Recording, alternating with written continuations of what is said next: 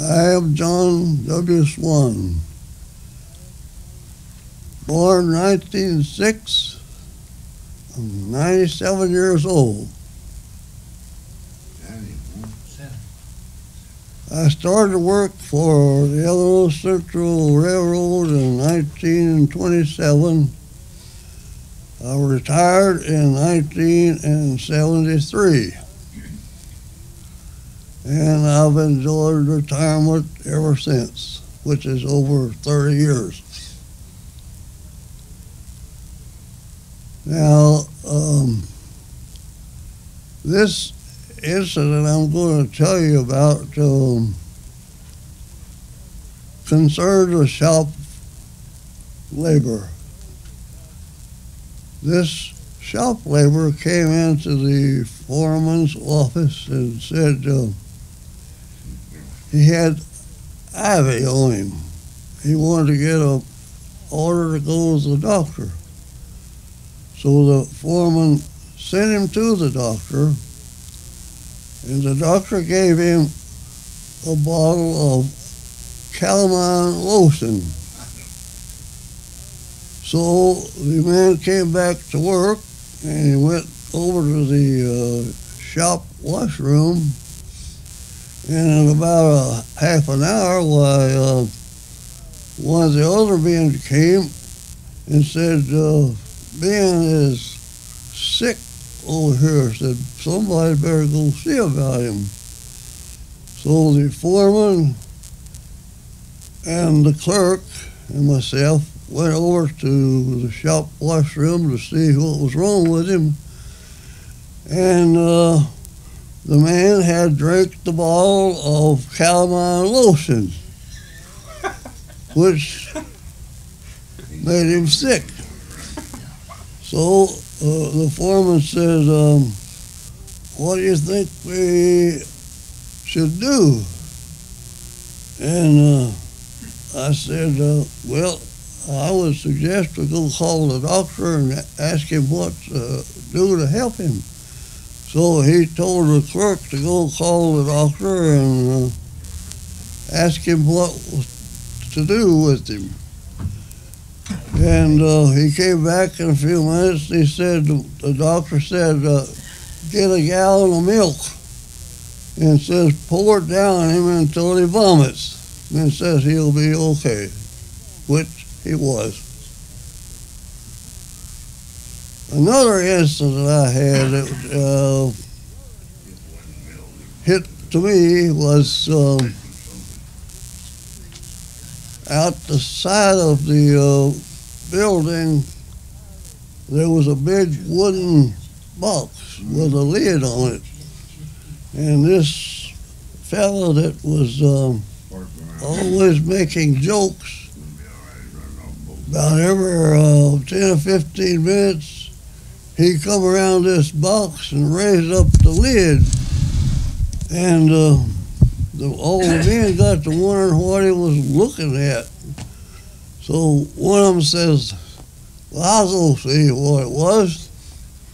So he goes over there and he raises the lid and he looks down at it and down on the bottom of it was written in chalk, says, you fool, you fool, it's empty. That was it. I think that's all that I have. Thank you, John. I'm Hollis Vinson. I went by the initial of H.D. Vinson. The only thing I can say is that in my field, I was uh, went to work in 1941, December. Retired in 78, February the 8th of 1978. 37 and a half years. And the only thing I can recall is there in the yard where I worked, I was promoted in five years after I went to work to yard master. And we had a, a group of poets there in the yard. I don't know whether I ought to call his name or not, but it's it, it's not uh, too good to tell something unless you follow through with it. So Claude Staples wrote a little poem on the side of a car.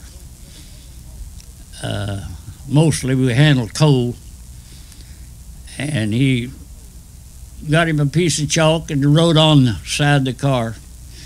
Said he's long, lean, and lanky, and lengthy is his frame. The boys all called him Goofy, and he lived up to his name.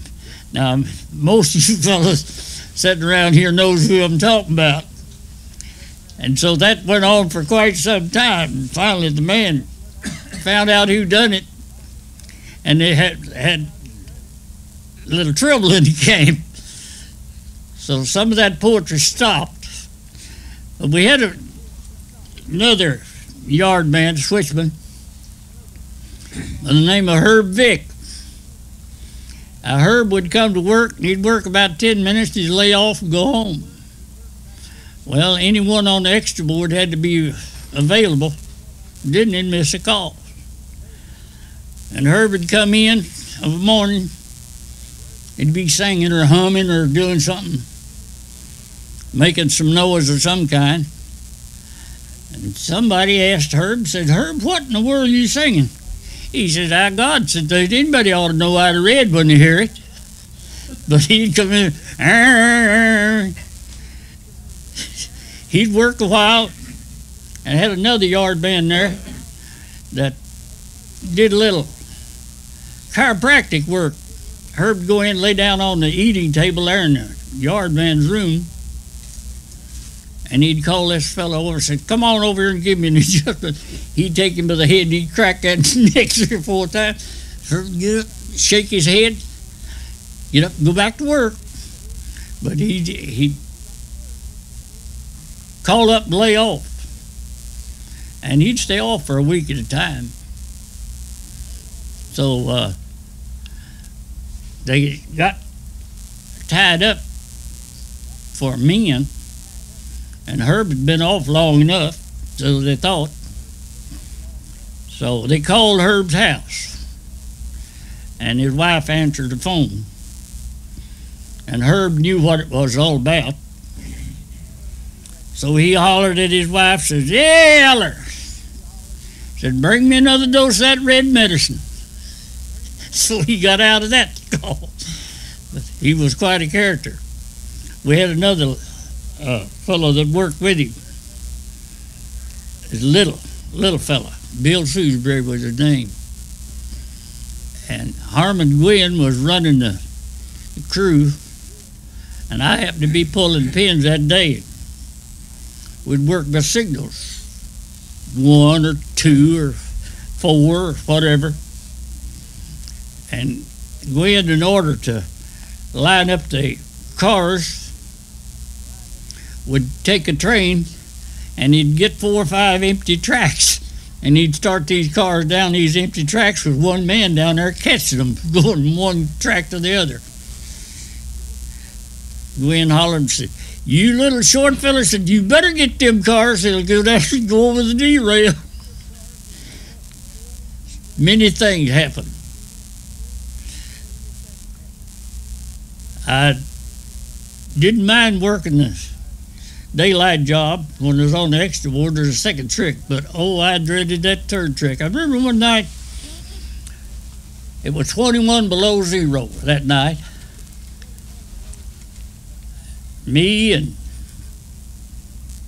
Paul Hickman,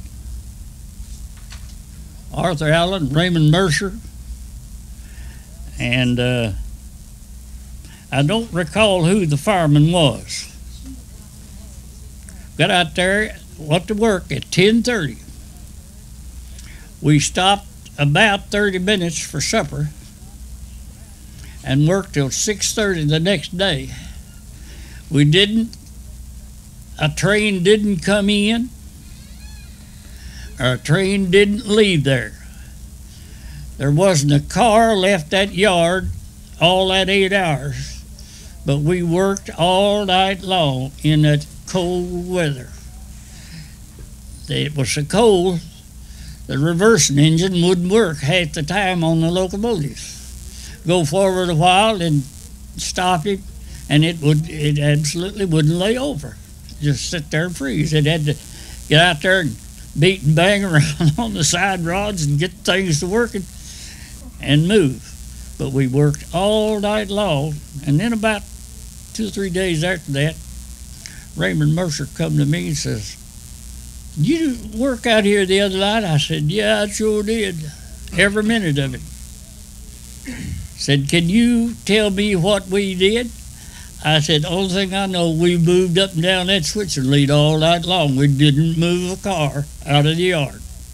Now, what we done, I don't have any idea. But he was a man that he believed in working, I reckon. But man, standing out there in that cold weather, I'm telling you, we absolutely froze to death. And I never will forget that night. I don't recall the date, but it was somewhere in the 60s. And it was the coldest weather that I'd ever seen on the railroad. And everybody knows that the railroad to the graveyard is the coldest place in the world. That's it. All right, my name's James F. Reno. My nickname's Cigar Reno. I went to work on the railroad in 19 March 1950, and we had a awful bad winter that winter, but I toughed it out. And then I worked these coal runs around these coal mines, and uh, and uh, well, let's see. And I got promoted to conductor in 55. I'd worked five years and I got promoted. And I didn't get do much of the conductor's work. Uh, and uh, we worked these coal runs. And then I went to work in Paducah on turns, worked them a while. And then I worked up to uh, October of 59 and had an accident on a motorcycle. And they disqualified me. Said I wasn't able. And I've been working ever since at public work and everything, and, and none that ever gave me any trouble from that accident. And uh, that's about all I got to say, I guess. I can tell a lot of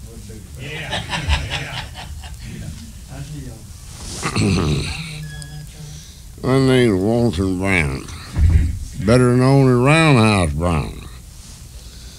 Started working railroad in 1943, Paducah, Kentucky. Ended up in Central City in 1954. Retired in 79. And I wished I'd back working because I'm too old to not work. Thank you. My name is Dave Simpson.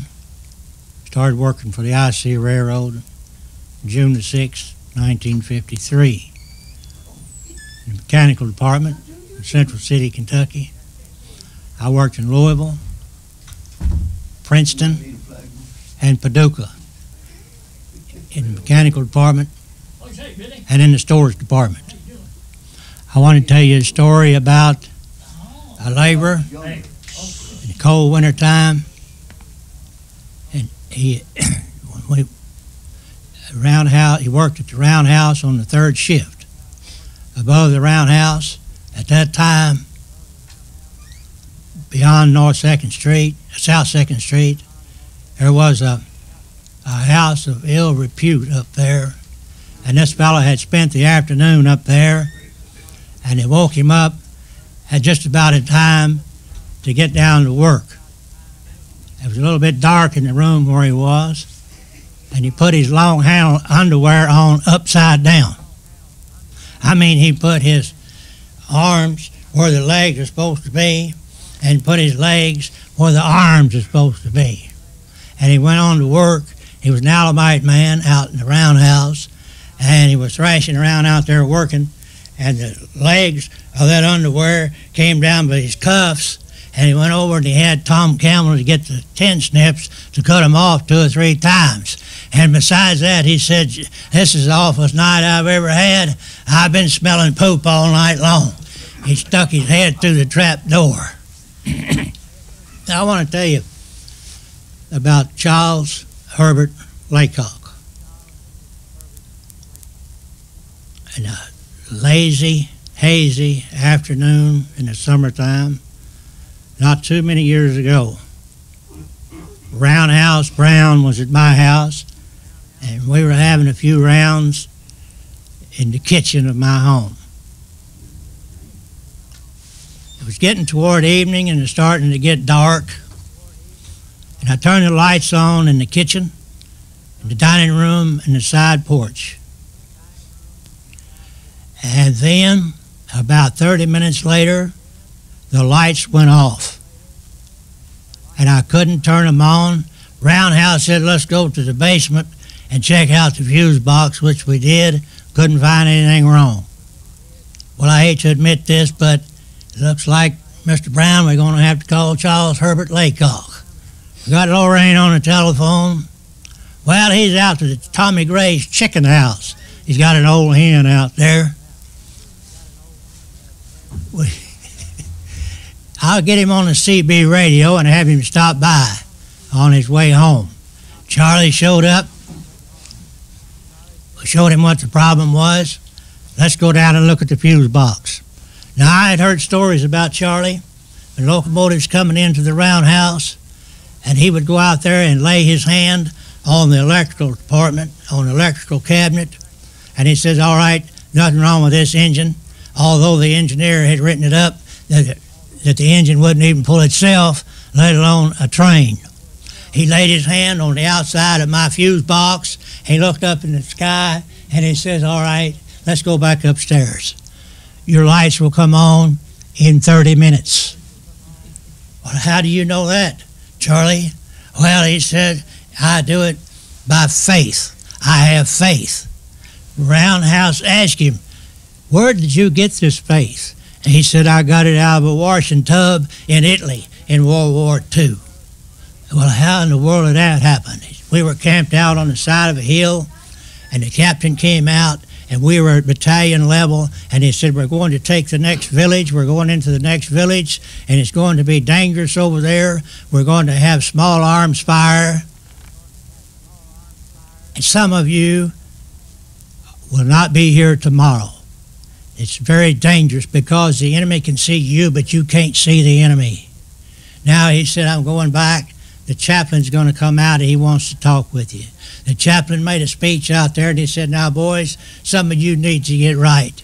Some of you need to be baptized. You've never even been, but there's no streams around here, there's no water here. There's, there's nothing, no creeks, no rivers, lakes, ponds, nothing. But there's an old woman around on the other side that's been washing clothes. She's agreed to let me use her wash water for baptizing. Since they were at battalion level, it was 15 or 20 people, uh, soldiers, lined up to go be baptized. He put them in this washing tub and poured water on them, and they were baptized right there in Italy in the washing tub. Later on that winter, when Charlie's unit was traveling up north on a forced march, both of his feet were frozen. Charlie always had trouble with his feet being frozen.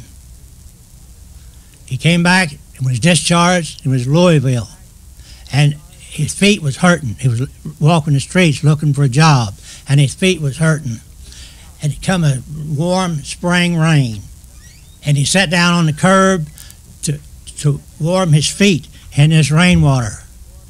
And a cop came by and arrested him for a drunken, disorderly, vagrancy, and resisting arrest.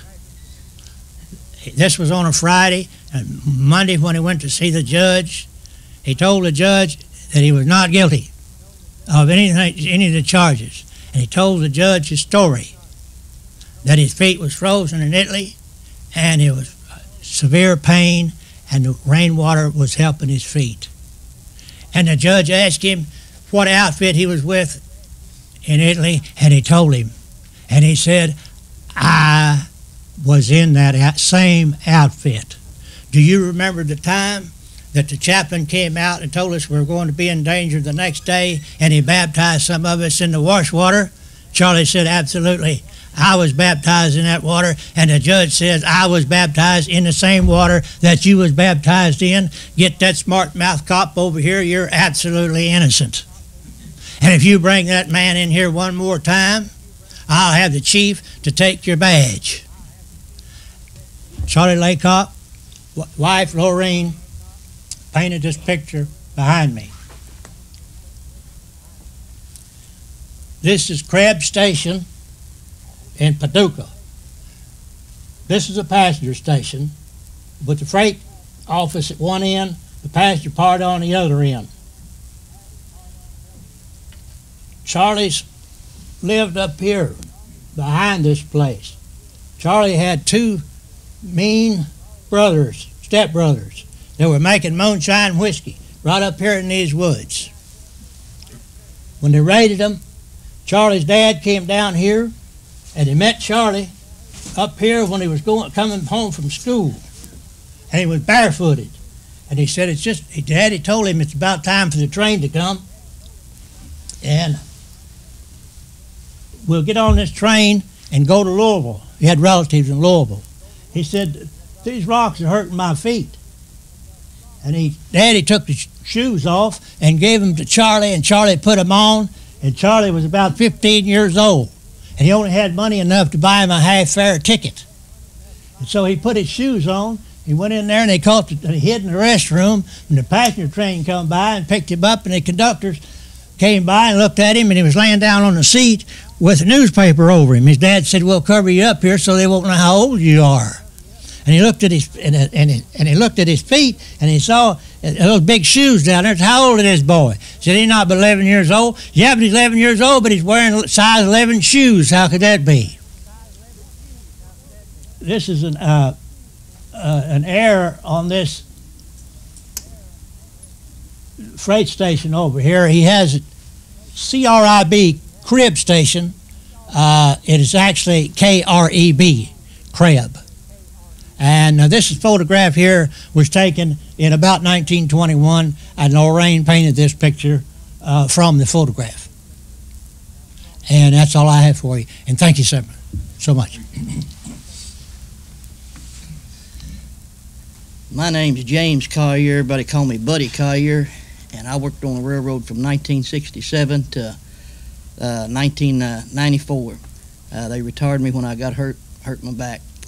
And uh, most memorable story was when I hard in on the railroad. You worked from Louisville to Central City, and usually you was home every other day.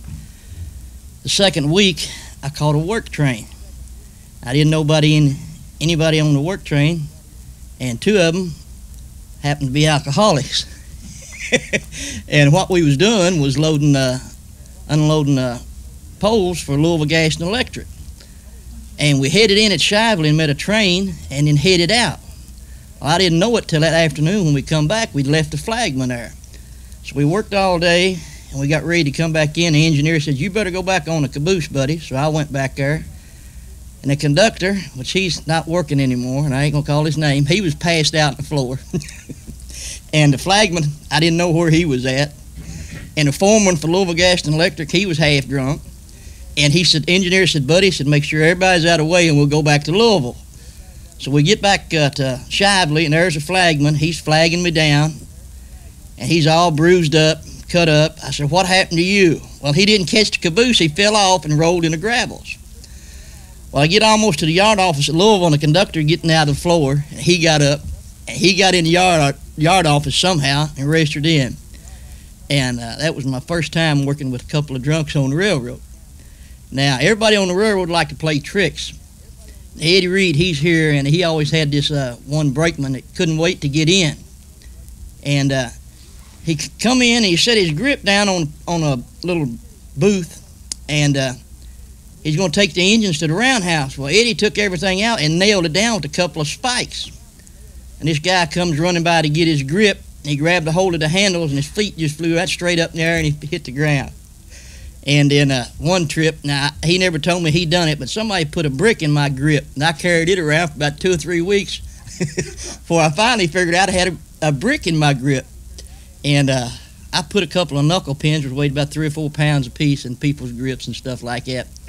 We had this one guy, he's an engineer now, and he's always real neat and real clean. And he didn't want anybody getting, he'd never want to get dirty or anything. Well, Eddie and me had been down at uh, a novelty place, and he bought a couple of things that would shock you. He bought a lighter.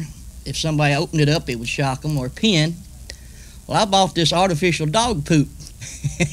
and this guy walked in, he set his grip down, he walked out, and I just laid that dog poop right on top of his grip. He come back in and he looked at it, and oh, he just had a look on his face. He said, "Who in the world would have done that?" Which I just reached down and grabbed and stuck it in my pocket. And he said, "Oh, buddy, don't do that." I took him out and showed it. It was just fake. It was rubber and everything. But I enjoyed working on the railroad. Uh, had a lot of good friends, a lot of good times, and that's about all I want to say.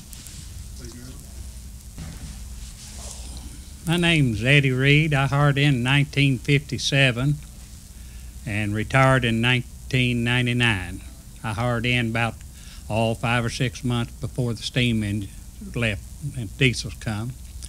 I hired in switching at Central City and kind of not working very much while I transferred to Louisville and worked down the road from Louisville to Central City there for several years. Uh, I couple most of the stuff that I know is on myself, so I won't uh, repeat none of that. But uh, I do know of occasion there in Central City, this engineer at night, you had some that would give a signal, backup signal like this. And of course, he could be a mile away from you, and they'd expect him to see him. Well, he complained to this one yard foreman, told him, said, "You're going to have to give me a bigger signal, something that I can see." And Dupont Edwards, I'm told, got up on the coal house where, where they supplied the cabooses with coal, and tied a rope, about a 10 foot rope, and just swung it around in a circle. And they said, that engineer, he said, now that's the kind of signals I see, you know. And of course, they tell on uh, Clyde Allen, I don't know if it's true or not, because railroaders has a tendency to lie, you know. But they said they was leaving uh, Greenville, and they had a large train of coal, and track was wet and everything else, and between Central City and Greenville, you've got a pretty good hill. So they just decided that uh, before they even leave, they just cut off and bring half the train to Central City, and then go back for the rest. And said, uh, now they told it on Clyde Allen, and said uh, with, they didn't tell him that they was going to take half the train in. Of course, it was night and all that, and he was on a steam engine, and and said they went back there and they just cut off half the train and and told Clyde to go ahead, you know, and said he worked the throttle, of that steam engine, the sand, and everything else. And he worked it and got it up top of the hill. And said he stood up and said, "Y'all didn't think old Clyde could do it, did you?" And they said, "Do what, Clyde?" Said, "Pull this hill." They said, "Well, Clyde, half your train's still back down on the flat track, you know." But uh, I'm like Buddy Collier. I had a lot of friends out there, and I enjoyed it. And then it was rough. Now it, it wasn't an easy life, but uh, that's that's about it. Thank you. My name is Andrew L. Hawes. I started to work for the Illinois Central Railroad March the 1st in 1951, steam engine. Uh, made my first trip, first student trip. They put me on an engine here at Central City. I went to Louisville. And those big engines then were, when they went around those curves, and there's some sharp curves on the, but on the north end, and as you went around them, it, it looked like the engine was going to the thicket all the time. It, you know, the engine didn't turn when I thought it should, and it worried me quite a bit. But I gripped my hands and my teeth real hard. Next day, my mouth was sore, and I couldn't figure it. And I finally figured out that I had gritted my teeth so hard that it was sore from it. But that I worked, I retired or sold out in '86, May the first. 86. There was a lot of humorous things that happened in this time. Uh, one of them was already, some of it was told a while ago. I happened to be there. I was firing on this job when this happened with uh, Mr. Allen, Mr. Clyde Allen. Fine old fellow, but he's like myself. He, he had problems being able to read or write, and we did everything in the world to them. We were young and didn't have much sense, and did everything to aggravate him. One of them was he wanted us to read the orders and so forth real quick. Of course, we'd get them, put them in our pocket, and act like we didn't have them. And he'd say, "Read those orders. What does it say? What are we going to do?" I will let you know after a while. but that was bad. But he was always 64. He'd been 64 for several years. One day, uh, brakeman on the job, we were going out at Caney Creek Bottom. Brakeman on the job says, Mr. Allen, how old are you? He said, I'm 64 and a half. He said, You know, I was over to the flea market today and I met a man looked just like you. And I asked him, and he said he was your twin brother. And he said he was 72. I said, How can that be? Well, it made the old man real mad. He jumped up and he says, If you, bad word, say another word to me tonight, got a monkey wrench put in his lap, I'll knock you in the head. Well, in this condition, we hushed. I wasn't working very regular anyway, and I didn't care to stay out there all night to make no difference. I need the money. But he rode with this monkey wrench in his lap. Willard Ray was the brakeman's name. We came back to the main line, and we had 18 cars, and some of them were empties we had picked up over at Zen Masters at Greenville. And we started up the hill. Got up there, and, it, and he, it was raining, and he slipped up, and he quit. He couldn't pull it. Well, Willard Ray said, uh, got up, looked to me, which I don't looked, said, I'm going back and cut the engine off. I want you to sand the rail up the top of the hill, come back, get this train, go over. Because it, it's not enough to double that hill with. Well, Clyde, I said, okay. So he went back on my side, give me a signal to go ahead. I, I thought Clyde heard it. He didn't. We went over the hill with the engine. And he went down the other side to a siding over there at Mercer where we could set the cars out. He thought he had half his train, didn't have anything but engine. He had, there were sharp curves coming down the hill. On a locomotive engine was a engine brake and a train brake, and he was drawing off the train brake and bleeding the engine brake off, so he had no brake at all. He was just rolling free. And we'd go around those curves, we got awful fast coming down there. But I didn't say a word because he done told me not to say one. When we got about right, he stopped about right to shove the cars in the siding. He looks at me and said, What are they saying over there? I said, Clyde, there's nobody to say nothing because you don't have nothing but an engine. He looked at me just a minute and he said, What? And I tell him again, he says, he called me two or three good bad names about this time. He's really mad because he's really disturbed about he had to retire at 65. He knew somebody was going to get out that he was older. He was really disturbed. I knew that. He told me not to speak to him, so I didn't. But when I said he had nothing, he turned his headlight on. He said, I'd better have a train. He turned his headlight on. Of course, you can see a mile up the track. There wasn't nothing up there. We go back over that hill. He, I hang out the window because I can't stand it. He, he beers me under every tie as he go back. He, I back over there to the train conductor. He's done walked over, hunting us. we get off the train. We come over that hill, not a bit of trouble. Come to town. But as long as he lived, he retired about a week or two later. I had nothing to do with it. But, uh, but he, he always thought I did. You could ask him. He's the only reason I'm retired. That old Halls boy down there did it, but I didn't. But the rule was he had to retire at 65. He was already 72 and he was still working, which was great with me. Of course, he left me a job when he went, so I guess I ought to appreciate it, but I, I didn't do it. As, it was uh, 35 years. It, it was a good job. It was an awful good job, I thought, when I went to work. And I was working for 75 cents an hour and what, making, as Mr. Redfro told us a while ago, 11 $11 something for an eight hour day. That was a pretty good raise for me, and family, so forth. And I met a lot of good people, had a lot of good friends, and I've been fortunate that I've lived to be 77 anyway. So I guess that's about all I have to say.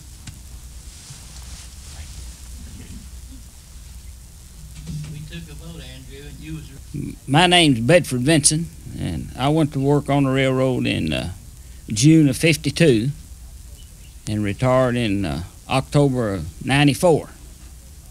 Uh, I had I had a lot of good a lot of good times on the railroad. I guess because just before a little time before I retired, why Eddie Reed come up and worked with me. So, but anyway, probably some of the things I remember most, I, I worked with uh, Hoss Craig a lot, Ogden.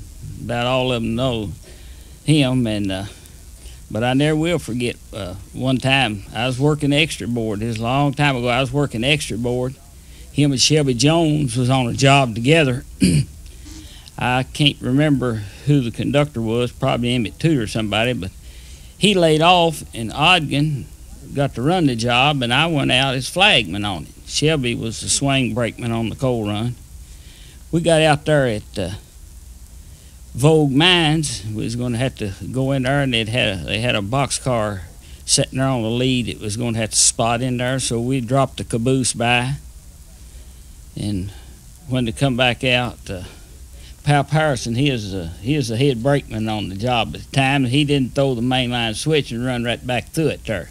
I rode the caboose down the main. Anyway, we fooled that switch a little bit. We couldn't do nothing with it, so finally had to call. They called Central City over the radio, and when they told them we'd run through the switch while Hollis Wortham was he was on 70 there. He said, I'll be down there just in a few minutes.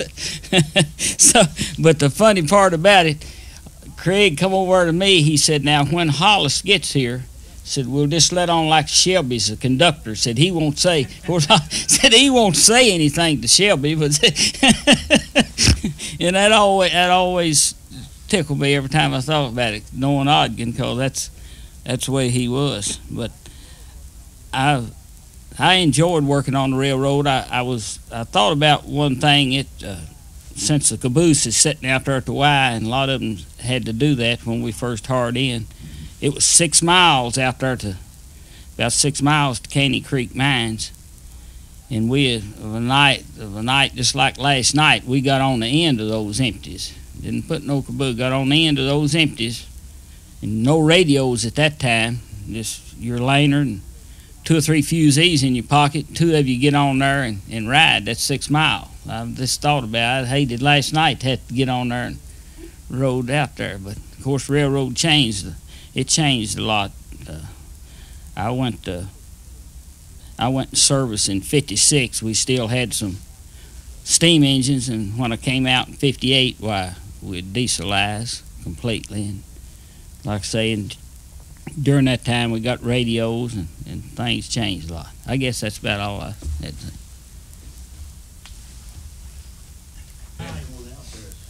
say. Like they was guiding the caboose, you know, backing up or something. And this this one conductor on the north end, he had a young boy, just was a student, you know, learning.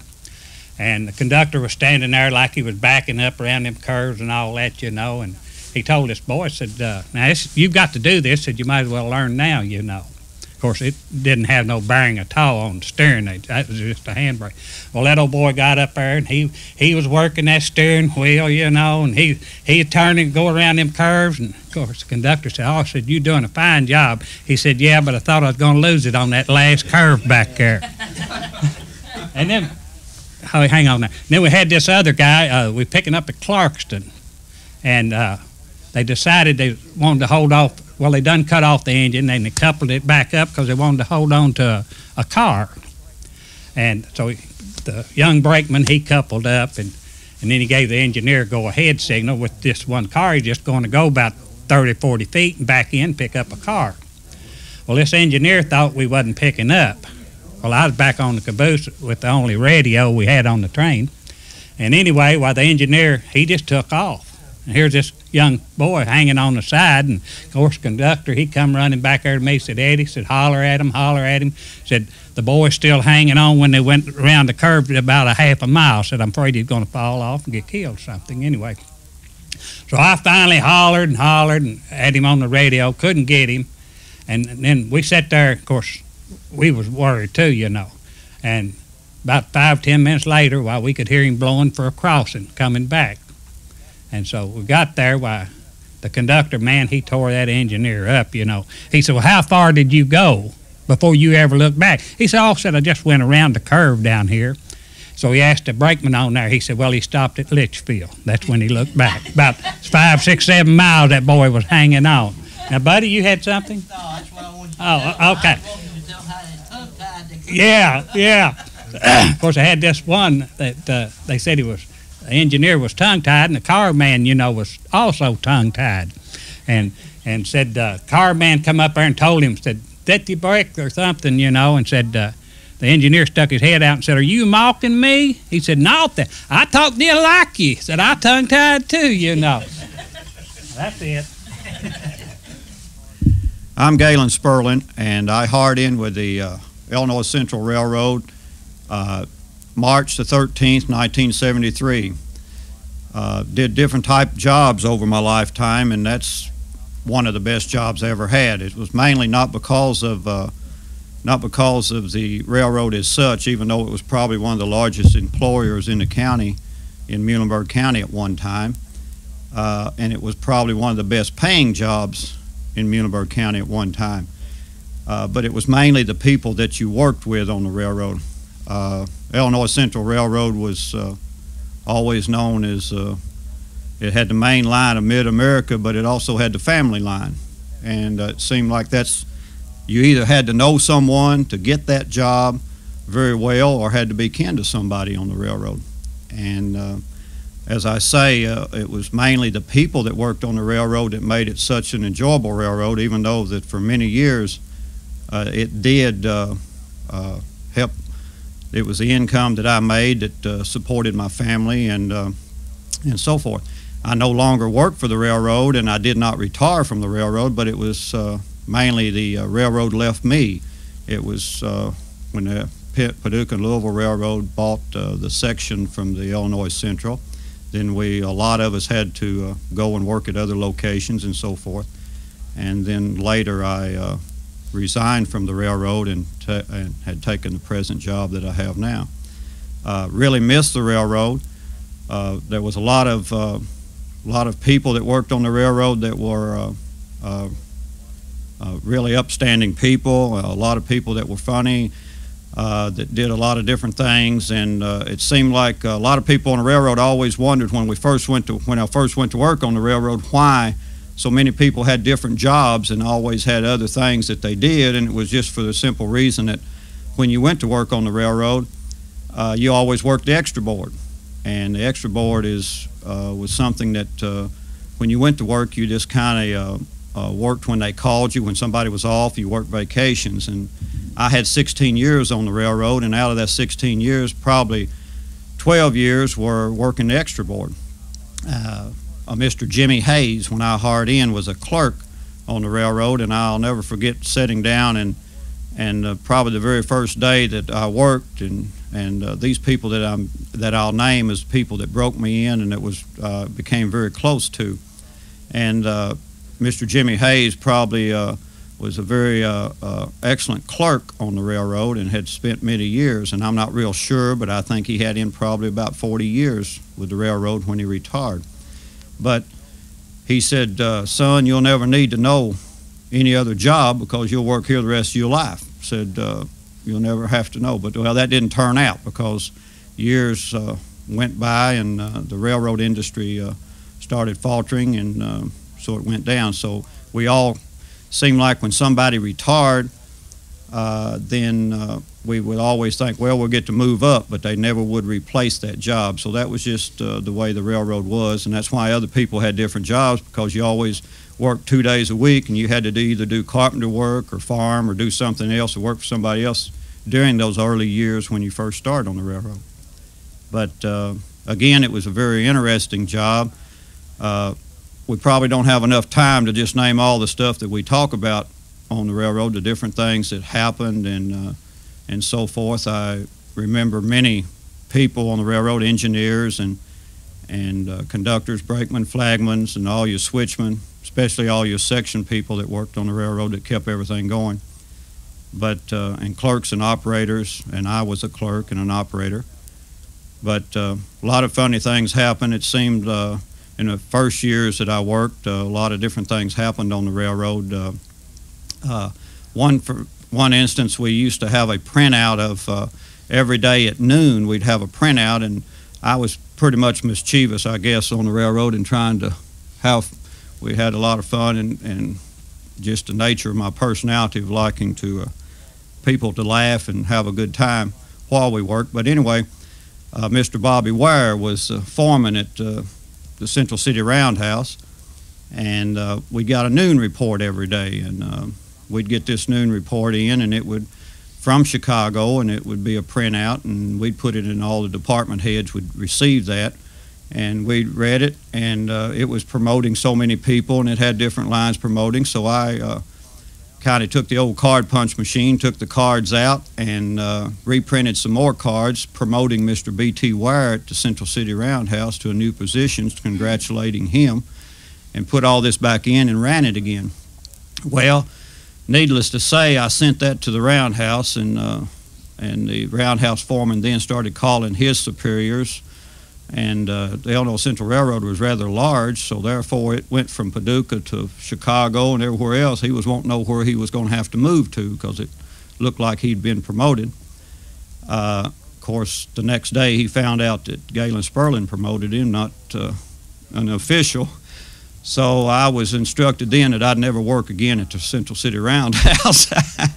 uh, a lot of different things happened. Uh, Eddie Reed seemed to be always the one, and Bob Tigg, the late Bob Tigg, uh, always seemed ones that uh, you were always tickled to see of the morning when you come into work, uh, getting out on the Clarkson local. They would start and uh, start talking to each other and and going on with different things. And uh, sometimes you'd think they'd fight, but the next thing you know, they was sharing either some tobacco or cigarettes or something with each other, but they was always in trouble, and I uh, knew that they thought a world of each other. But uh, anyway, that's some of the. I had uh, a friend that come in one day to ask me about something uh, on the railroad, and Bob Tigg and Eddie Reed was in there arguing and fighting, and he thought they were big enemies, and to later find out that they wasn't. But uh, different things, a lot of different things have happened. Uh, some things of local interest. Carly Mitchell of Carl Mitchell and Son uh, Equipment down here worked on the railroad and became a real good friend of mine. Uh, one night he come with an old truck uh, hauling equipment and uh, come in. It didn't have the heater wasn't working and it was uh, probably in January and very cold. And the defroster wasn't working, so he put a put some paper up, cardboard up over the windshield, just half of it in front of the driver's window. So as soon as he left, uh, I kind of went out and slid the cardboard over to the other side. So the next morning when he uh, came back in off the train, well, the only place he could see out was the passenger side, not the driver's side. So then a Gene, then there was a Harold Clark that one day his wife always made sure that he sent the garbage. She'd send the garbage with him to throw away. And back then we just used barrels to burn barrels to put the garbage in. And he had two of those full, and he had dumped those on the way and left them in the back of his pickup. So I started a family feud there when I took all the garbage in the clerk's office, went out and filled the barrels back up again. And he hauled it back home. And uh, she went out to get the barrels out of the truck next morning. She didn't much like that either. So uh, we shot a lot of firecrackers and we shot a lot of Roman candles during the, the course of things. And uh, the railroads, it's uh, was a very enjoyable place to work and uh, with the people that became a family. And uh, to this day, uh, it's like a lot of things so I could continue to tell a lot of different stories, but uh, those stories would only be really funny to the people that lived them and the people that uh, we worked together. And uh, the railroad at the time that people were working was a family. it is still a family for those that are left that work. And of course, it's fewer and fewer of those because of age and just because of jobs. Uh, it was true, as I had said first, that Jimmy Hayes told me that you'll have a job, son, for the rest of your life here. Well, that doesn't hold true anymore. We all have four or five different occupations now in our age. But uh, I can truly say that the railroad was one of the best jobs that I'd ever had in my life. Just sit down there. Be, be fine. Whatever, whatever you want to say. Okay. Just give your name and when you start to work for the railroad, when you retire. Okay. I started the seventh month of July and the sixth, uh, seventh month of July, sixth day of July, 1944. And your name is? Cecil Heath. And I worked, uh, the, I worked all them years, the 86, 29th day of August when they shut down. And I worked with a lot of good people. And railroad all right. That's all I got to say. Thank you. Time yesterday. I'll, do it now. All right. My name's Charles Greenwood. I started work in 1965 as a machinist apprentice. And I had to go to Paducah to serve part of my apprenticeship. I come back to Central City in 68. 1970, I was promoted to a foreman. I went to Chicago as a foreman at Woodcrest, which was a big shop up in uh, Homewood. Uh, I got diabetes up there. I quit that foreman's job and come back to Central City in 73. I worked uh, assistant foremans off and on and in uh, then when Paducah and Louisville bought the railroad in 87 I had to go to Paducah to work. And I stayed working at Paducah until I retired in 2002 now you know of course the only funny story I guess I've got to say was when when I was of course Woodcrest up in Chicago they had a lot of weird people working for the railroad I'd say but what I know I was general foreman that night and uh, we had two dopeheads I guess you'd say that uh, they decided they were going to steal some machinery out of there. Well, they were loading up the trunk of their car, and I caught them. And they took off running, and I run one across the parking lot and caught one of them. But, you know, I don't know. I had to go to court two or three times, but uh, I don't know whatever happened to him. But I enjoyed working the railroad. I was a machinist and worked on locomotives, different things. Worked on cabooses some. Whenever they were tore up, we'd have to repair them. That's why I took over this, getting the caboose settled in here for the rails to trails, and done a lot, quite a bit of work on it. But it looks real nice. I'm proud of it. Thank you. All right. uh, his uh, brother was a train master, and they got where they they t- said he'd go blow his horn to his brother all the time. Anything go wrong, you know. Which I don't think it was true, but you know. What about Buckethead? Buckethead Tate. Uh, he was on the north end. yeah, he had a head about the size of a bucket, you know. He come by that name on us. When we when we're also for the sake of this tape, when Eddie and myself, when we say north end, south end, Yeah. if you hadn't heard before, north end's from Central City to Louisville, and south end was Central City to Paducah. So Right. everybody, we've got we had names for everything, and that's what hacksaw. Yeah. Now I, I'm not saying how he come by that name. No, but, uh, we don't know. We're not real yeah. sure. yeah. Beetle Bailey. Now yeah. that Of course, Beetle, he, he, he come by that name on us. His last name was Bailey. It's Beetle Bailey. Uh, Beetle Bailey. He was the one that worked on the cabooses all the time. Yeah, yeah, He, he- did the maintenance on them yeah, too. and Charlie. the engines and, and everything else. It didn't matter.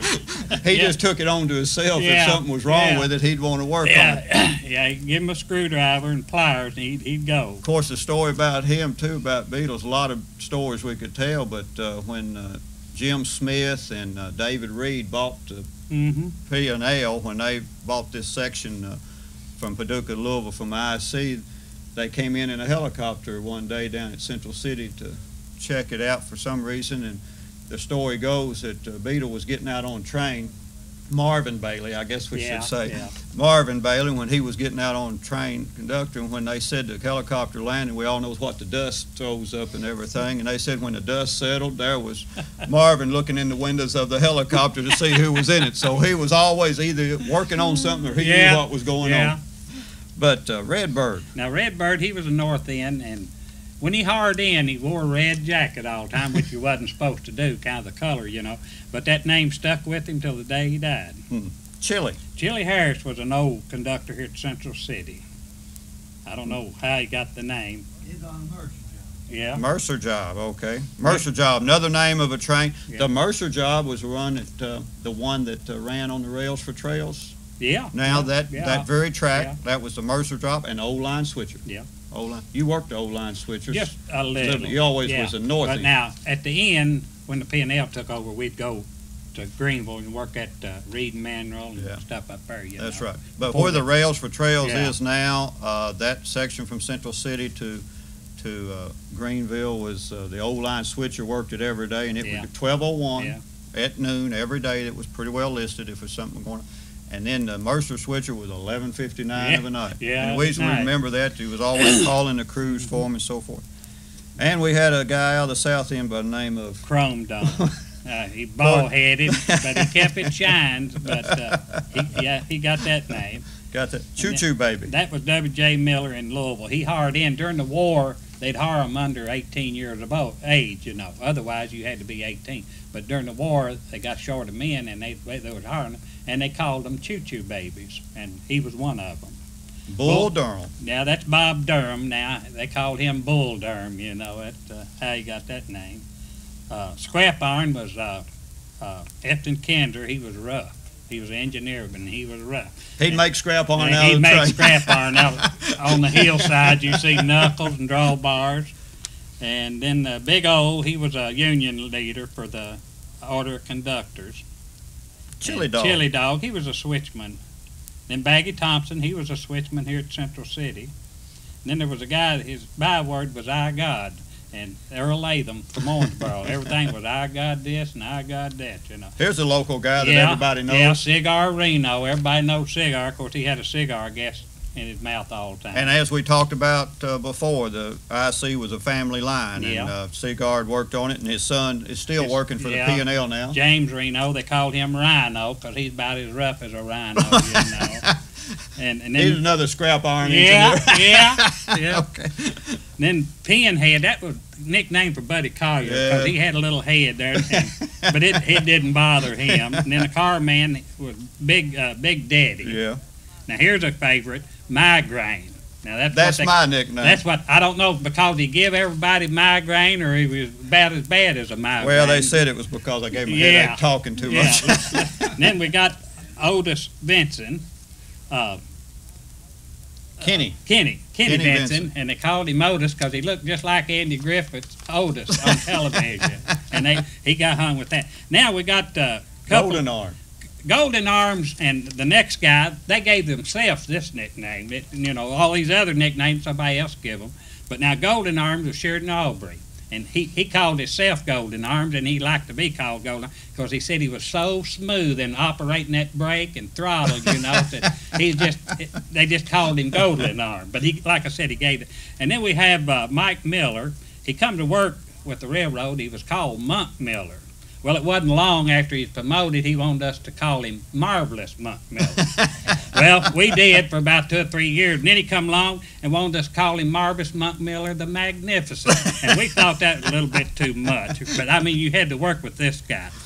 I said that was one of the reasons I retired. And uh, and uh, Monk Miller, Mike Miller again. Again, his dad was uh, A- a section track foreman. foreman, Yeah, track, track foreman, foreman. good track Yeah, foreman. Aubrey Miller, Aubrey right. Miller.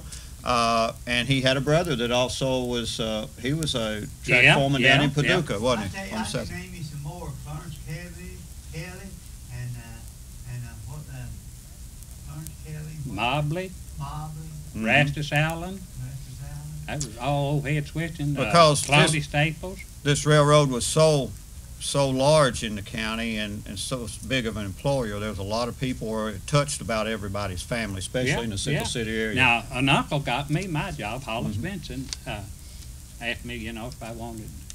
But like Sperling said, it, it was kind of a family thing. And, uh, Either that or you had a good friend. You had a good friend that worked on the railroad, but everybody, every family got touched by the railroad at one time in this, in this area, just because it was such a large, uh, I forget the date, but in, uh, Greenville, in Greenville, the, uh, Muhlenberg County Courthouse, out front, at one time, uh, there's a big plaque, there's a rock sitting out front that has a, uh, big uh, plaque on it, uh, from the, uh, uh, I guess it would probably be in the fifties I think it was. because it was the hundred years or something anniversary of the Illinois Central Railroad, and they gave uh, these plaques to every county seat that they ran through Well, Central. City had one too.